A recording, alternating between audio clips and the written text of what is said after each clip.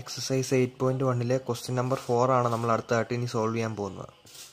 നമ്മൾ ഈ ക്വസ്റ്റ്യൻ നോക്കുകയാണെങ്കിൽ നമുക്ക് മനസ്സിലാകും.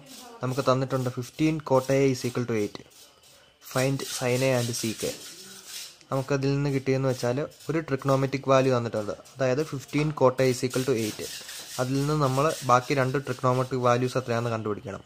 സൈൻ എ എത്രയാണ് സി കെ എത്രയാണ്? നമ്മൾ അടുത്തായിട്ട് ഫിഫ്റ്റീൻ കോട്ട എന്നുള്ളതിനെ എക്സ്പാൻഡ് ചെയ്യുക എന്നുള്ളത്. അത് നമ്മൾ കോട്ടയം ആക്കുമ്പോഴത്തേക്കും എയ്റ്റ് ഡിവൈഡ് ബൈ ഫിഫ്റ്റീൻ വരും. നമുക്ക് കോട്ടയുടെ ഫോർമുല എന്താണെന്ന് അറിയാം adjacent side by opposite side അപ്പോൾ നമുക്ക് ഇനി ഒരു ട്രയാങ്കിൾ അസ്യൂം ചെയ്യാം. ഏത് ട്രിക്നോമെട്രി ക്വസ്റ്റ്യൻസ് സോൾവ് ചെയ്യണമെങ്കിൽ നമുക്ക് ട്രയാങ്കിൾ വെച്ച് സോൾവ് ചെയ്യാൻ പറ്റത്തുള്ളൂ.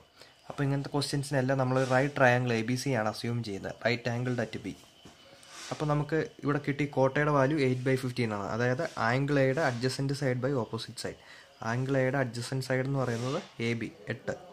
അതുപോലെ തന്നെ ഓപ്പോസിറ്റ് ആംഗിൾ എയുടെ ഓപ്പോസിറ്റ് സൈഡ് എന്ന് പറയുന്നത് ബി സി ഫിഫ്റ്റീൻ ഇനി നമുക്കിപ്പോൾ കണ്ടുപിടിക്കേണ്ടത് എ സി എന്ന് പറയുന്ന മൂന്നാമത്തെ സൈഡാണ് ഈ റൈറ്റ് ട്രയാങ്കിളിന്റെ മൂന്നാമത്തെ സൈഡായ എ സി കണ്ടുപിടിക്കണമെങ്കിൽ നമ്മൾ പൈതകോറസ് തിയറം അപ്ലൈ ചെയ്യണം. പൈതകോറസ് തിയറം എന്താണെന്ന് നമുക്കറിയാം. Right triangle hypotenuse square is equal to sum of other two sides അതായത് A C square is equal to sum of other two sides A B square plus B C square ഇപ്പോൾ A ബിയുടെ value എന്താ? നമ്മൾ question നിന്ന് തന്നെ നമുക്ക് കിട്ടിയിട്ടുണ്ട്. Eight എന്ന് കിട്ടി. എയ്റ്റ് സ്ക്വയർ പ്ലസ് ബി സിയുടെ വാല്യൂ എത്രയാണ് നമുക്ക് കിട്ടി? ഫിഫ്റ്റീൻ എന്ന് കിട്ടി. ഫിഫ്റ്റീൻ സ്ക്വയർ എയ്റ്റ് സ്ക്വയറിന് എയ്റ്റ് ഇന്റു എയ്റ്റ് നമ്മൾ എക്സ്പാൻഡ് ചെയ്യുമ്പോൾ നമുക്ക് സിക്സ്റ്റി ഫോറിന് കിട്ടും.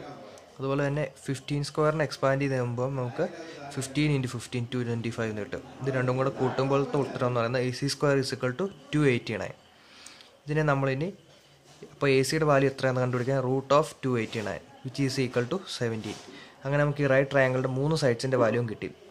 എ ബിയുടെ വാല്യൂ എയ്റ്റ് നമുക്കറിയാം. ബി സിയുടെ വാല്യൂ ഫിഫ്റ്റീൻ നമുക്കറിയാം. അപ്പം മൂന്നാമത്തെ സൈഡായ എ സിയുടെ വാല്യൂ നമ്മൾ കണ്ടുപിടിച്ചു സെവന്റീൻ എന്നുള്ളത് അപ്പോൾ ഇനി നമുക്ക് നേരെ ഈ ഫോർമുല അപ്ലൈ ചെയ്തുകൊണ്ട് കണ്ടുപിടിക്കേണ്ട സൈൻ എയുടെയും സി കെയുടെയും വാല്യൂസ് കണ്ടുപിടിക്കാൻ പറ്റും. നമുക്കിനി ഈ ക്വസ്റ്റ്യനിൽ നിന്ന് കണ്ടുപിടിക്കാനുള്ള സൈൻ ഓഫ് ആംഗിൾ എയുടെ വാല്യൂ എത്രയാണെന്നും സി കെയുടെ വാല്യൂ എത്രയെന്നാണ്. അപ്പോൾ നമുക്ക് സൈൻ എയുടെ ഫോർമുല എന്താണെന്നറിയാം.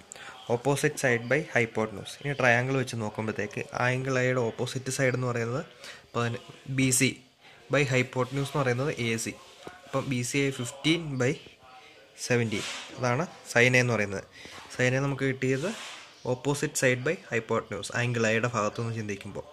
അതുപോലെ ഇനി നമുക്ക് കണ്ടുപിടിക്കാനുള്ള സി കെ എത്രയാണെന്ന് സി കെയുടെ ഫോർമുല നമുക്കറിയാം. ഹൈ ഹൈപ്പോട്ടന്യൂസ് ബൈ അഡ്ജസ്റ്റന്റ് സൈഡ് എന്നാണ്. അപ്പോൾ നമുക്ക് ആംഗിൾ എയുടെ ഹൈപ്പോട്ടന്യൂസ് എത്രയാണെന്ന് നോക്കാം. A C by adjacent side എന്ന് പറയുന്നത് എ ബി അതായത് സെവന്റീൻ ബൈ എയ്റ്റ് അത് തന്നെയാണ് നമുക്കിവിടെ ആൻസർ കിട്ടിയേക്കുന്നത്.